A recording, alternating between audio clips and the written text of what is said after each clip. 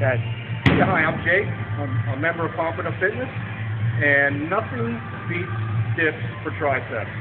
I like the dip machine here because it goes from narrow to wide, depending on whether you're doing triceps or want to get some chest in there. I'm just doing tris today, so I love my dips.